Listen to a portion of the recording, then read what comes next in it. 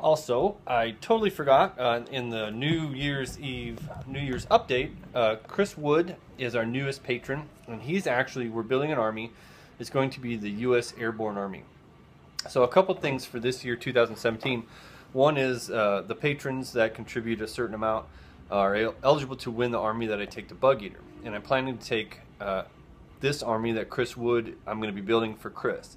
Uh, it's going to be U.S. Airborne. So I was looking at some of the models. I did get a nice size gift certificate for Christmas, so I'm going to be uh, starting to purchase some U.S. Airborne to fulfill his list.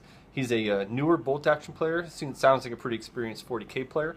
So bolt action's kind of new for him, and it's going to be pretty awesome. I don't have an American Army, uh, so I'm going to be playing Airborne, and those new sculpts look pretty sweet. So uh, it also give me uh, some new modeling stuff I'm planning to do. So that'll be for the Bug Eater, but it's also going to be part of our patron battles. Uh, the other thing that I wanted to do an update on, and I'll get some pictures up, is uh, Ken uh, with War HQ. Uh, he is still putting together the Oddball Army, and we're going to be putting that up for auction. Uh, it's going to be a fundraiser for uh, wounded veterans.